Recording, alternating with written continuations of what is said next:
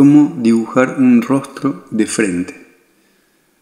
Con un lápiz HB bien afilado, comenzamos por trazar un círculo con el cual representamos el cráneo. Tomando el lápiz de atrás, sin presionar, sin apretar, utilizamos lo que se llama dibujo líneas guía trazos suaves.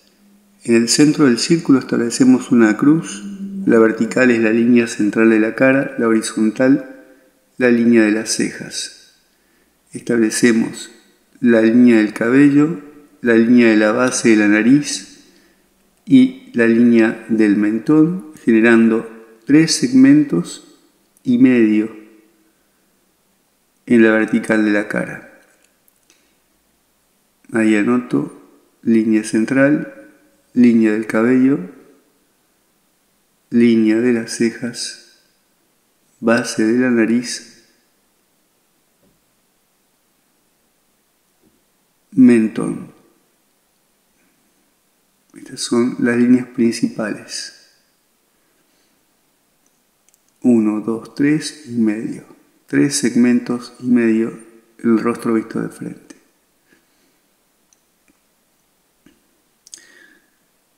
Ahora con estas verticales secciono a los costados la bola del cráneo, achatando el cráneo a los costados y dibujo, agrego la mandíbula,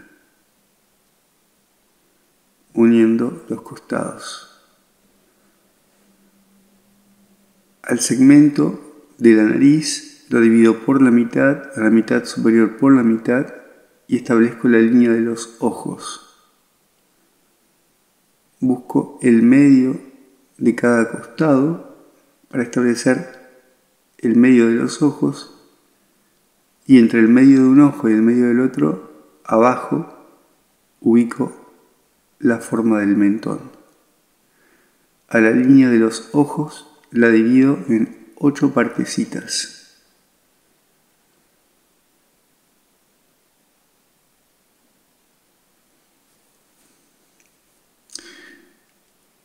En dos segmentos ubico los ojos a cada lado de la línea central de la cara.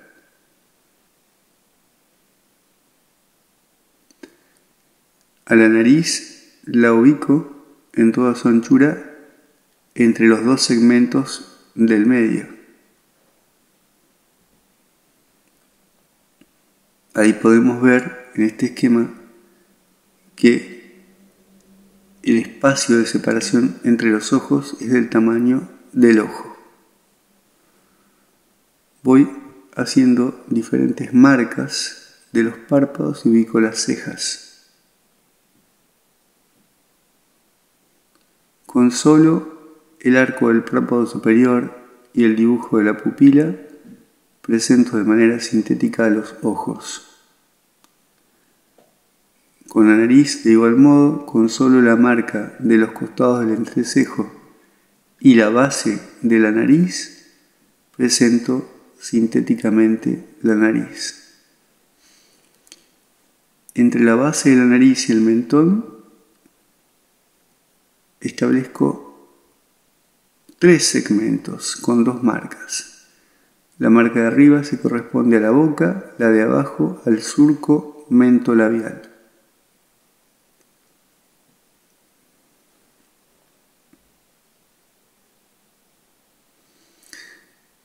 A la boca del adulto la ubico en toda su anchura, entre el costado de la nariz y el otro costado.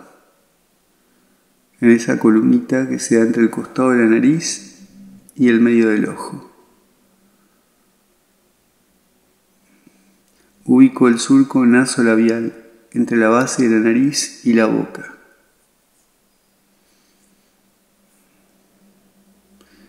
Establecido esto, genero algunos detalles más y ahora ubico la forma del hueso del pómulo y el músculo de la mejilla surgiendo de la línea del ojo y apuntando hacia la boca sin unirse a la boca. dibujo el pómulo mejilla de manera simétrica a un lado y al otro de la línea central de la cara. Descripto el pómulo, descripto el mentón, agrego la mandíbula que se inserta debajo del hueso del pómulo y cuyo ángulo se forma a la altura del surco mentolabial. Ahora redondeo un poquitito la forma del cráneo y ya aquí va desapareciendo la estructura primera, básica. Tomando como referencia el costado del ojo, hacia abajo ubico con verticales paralelas el cuello.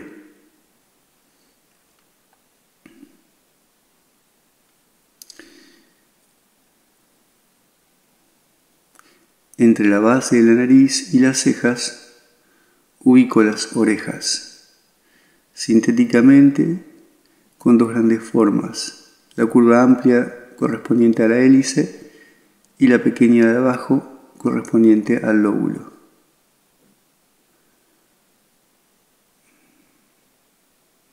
Agrego detalles sintéticos para la oreja. Divido en dos planos, plano de frente, plano del costado y agrego la parte interna de la llamada antihélice.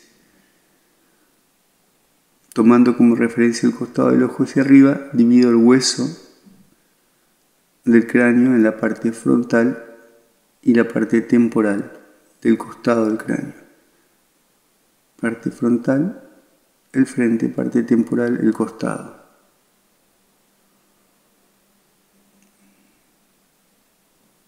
Ahora diseño las entradas del cabello y la silueta de la cabellera. Como pueden ver, vamos construyendo nuestra cara desde lo simple hacia lo complejo, desde lo despojado hacia lo detallado.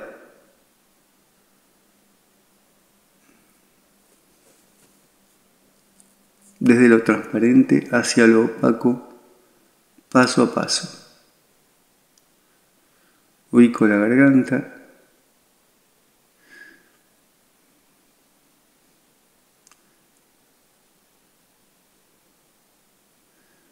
Ahora voy a cambiar de lápiz. Con un lápiz 8B bien afilado, ahora paso a hacer líneas de definición. Sobre esta estructura, sobre este andamiaje, ahora voy a acentuar las líneas más importantes de esta base.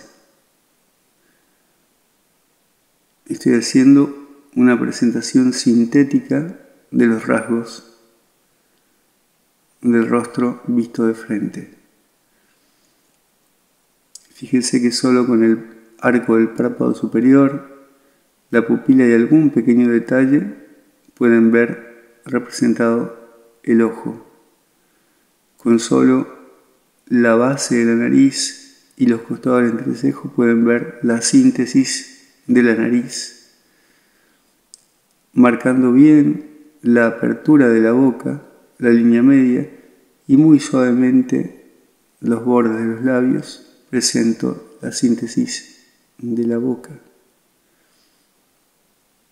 Fíjense cuáles son las líneas que elijo acentuar y cuáles no. Este trazo de definición también busco que sea un trazo continuo, que se pueda leer la silueta definida de un trazo,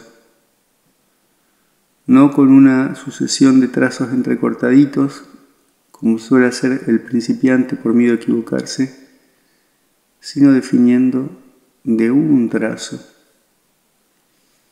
Por lo general la línea de definición es una línea modulada que se va afinando al terminar. Se va desvaneciendo, se va afinando al terminar es un trazo que se afina, que se modula.